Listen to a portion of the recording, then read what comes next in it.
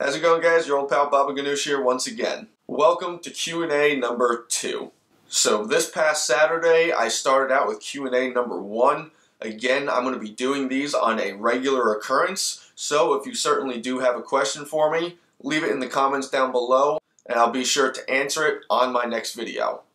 So on my previous video, Q&A 1, some of you left me some questions down below that I really look forward to answering.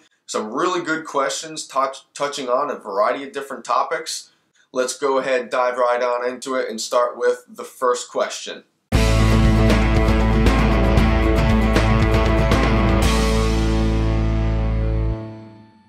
So the first question I got here, and I want to do this because this gentleman's name is so awesome. This is from Friar Rodney Burnap. Friar Rodney Burnap. And his question here today is Have you ever gone bike packing?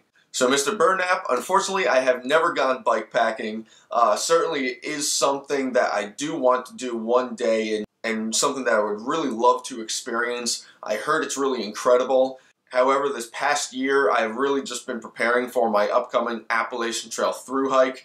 I really didn't find it necessary to start investing my income in other areas that weren't really pertaining towards the benefit of my through hike. So to answer your question, unfortunately not, but I am looking forward to it in the future. Next question I got here is from across the pond, from Graham Blaney. Excuse me if I'm not pronouncing that correctly. Graham Blaney.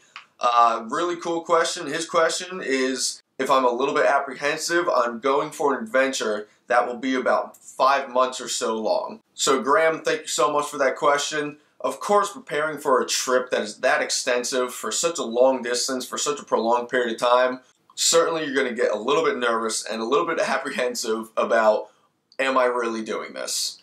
You know, you get cold feet, so to say. However, you know, I constantly remind myself of why I love the outdoors, why I love backpacking, um, and the real reasons that why I'm doing this. If you haven't looked at those already, I do have a why I'm through hiking sitting right up here for you. Definitely take a look at it. You know, it's what I like to say. Um, you know, this is not just who I am, it's what I was meant to do. So certainly I'm a little bit nervous about spending five or six months hiking a trail out in the middle of the woods. Of course, who wouldn't be? But I think my excitement and the enjoyment I'm going to have and the experiences that, that I'm going to take part in uh, are really overriding any kind of anxiety that I have for my upcoming through hike. So really good question. Again, you know, anybody's going to be nervous. Of course, I've had my moments. Bob, you, Bob, are you really doing this? And, and of course, you know, you just got to remind yourself that like, hey, you know, it's one day at a time. It's one step at a time. If you just stay on schedule and basically just put a bunch of small section hikes together, you're eventually going to get all the way up to Katahdin and finish the end of your trip. So this next question is actually from a gentleman named Keith Stewart, and he actually has a question about my, uh, pertaining to some of my equipment that I actually carry.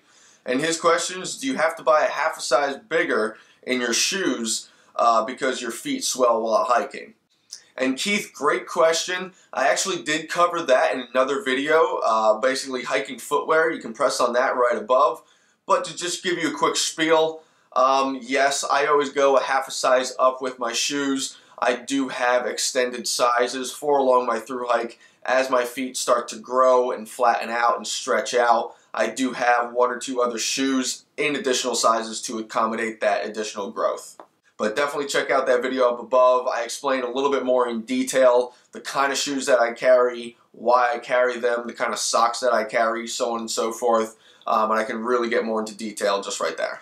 Next question, this is really cool. Coming all the way overseas from Belgium uh, but from Trail 75, and he asked if I ever considered buying a drone for my hikes. Trail 75, absolutely, I have looked into possibly purchasing a drone on my hikes. I think it would be really cool, especially doing some of the ridge lines and things to where that drone can lift up to really get the whole scope of, of really how far out I really am while still seeing this little tiny person just go along the trail. Um, I just thought it would be really, really good and just kind of make my videos a little bit more professional, a little bit more eye-grabbing as well. Now, certainly I'm getting ready for my through hike, so once again, it's not an expense that I was looking to add on top of what I'm already preparing for. So as much as I want to get a drone, and I really, really do, it's something that is just going to have to wait until after my through hike. Alright, so next question we got here is from John McVeigh. And his question is, what are your thoughts on backpacking chairs? My thoughts are, they are pretty awesome. Unfortunately, they're just not for me. Now, I've seen plenty of people bring lightweight backpacking chairs, those lightweight tripod stools. I actually used to have one of those myself. Um, it really is your own personal preference. I know some people who say they will never leave home without it, just to be able to have an actual seat, an actual chair at camp. Great way to get yourself up off the ground, especially if there's snow or it's been raining all day. Uh, definitely could be a huge benefit. I see a lot of bike packers always carrying camp chairs with them as well. Obviously, they can just strap it to their bike, but I do see plenty of other people carrying some kind of chair with them out on the trail. Now, me personally, I think it's just additional weight for a convenience that really isn't necessary, but again, that's just me. Some people absolutely swear by them. I myself just carry uh, something you see a lot of people, the Thermarest Z Seat. This is just a simple, inexpensive, lightweight foam pad uh, really isn't much to it. It at least is something to insulate your uh, backside from the cold ground, uh, create a dry surface uh, instead of sitting on like a wet rock or like a wet log or something like that as well. Um, just something nice and multi-purpose. I can fan the fire with it as well. You know, it's nice where I can put this down and kneel on it in front of my tent, so I'm not putting my uh, putting my knees right into the dirt and the mud and things like that. Uh, just something that creates a little bit more versatility for me personally, um, and as well, of course, is something that's super nice and lightweight, coming in at only two ounces. So camp chairs, they are awesome, super comfy, super convenient, just not for me personally. So, and then the last question that we have here today uh, is from PNW Adventures and Gear Reviews. His question is in regards to my through hike, which is why I wanted to save this for last. So if excuse me, it's a bit of a long one. Uh, I'm just going to read it right off my laptop here. So he asks, uh, are you going to be doing resupplies every five days to keep the weight down or every seven days? And are you shipping all your food or do you plan on buying them in town as well? Second part to that question, again, like I said, this is a good one. Uh, what is the amount of time you are trying to complete your hike in? Those are great, great questions, which is why I wanted to save this particular question for last. So let me actually start with the second part of that question so I can spend a little bit more time talking about the first part. So it's really hard to say how long I'm going to be out there for. It's always impossible to predict the weather or injuries or other such things from happening. And, you know, understanding it's a marathon, not a sprint, in the very early stages, I'm not going to crank out the miles uh, in the early onsets of my hike like you typically see me doing on my section hikes. My section hikes are only a few days. I can push my body a little bit more um, and really stretch those miles out. This is a trip that's expected to last months, so the best thing that I can possibly do, especially early on, is keep things slow, keep things nice and easy, build up my endurance, build up my strength, my trail legs. As I start to really, really get things going, as well as as the seasons start to progress and the days get longer, I'm able to stretch the miles out a little bit more. If I can average somewhere around that 14 to 16 miles a day uh, for the whole length of the trip, um, you know, I'm looking probably about five to five and a half months for the length of my trip.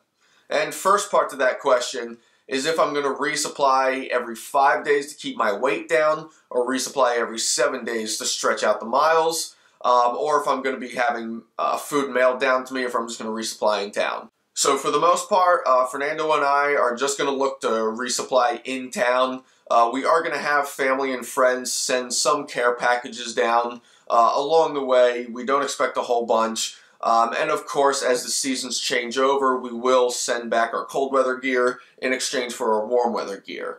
However, for the most part, we're just going to resupply in towns um, and pick up food as we go, uh, so on and so forth from there.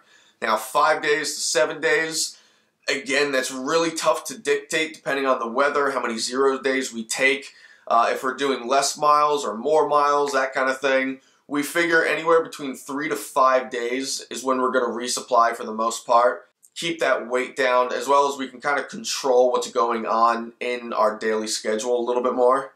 Otherwise, if I'm planning for an entire week, I'm stuck with all that food for the whole week kind of thing. So especially if there's a really nice campsite that I want to stay at, um, or or I take more zero days or more less or more short mile days than I was expecting, I'm still going to have to carry and eat all that food.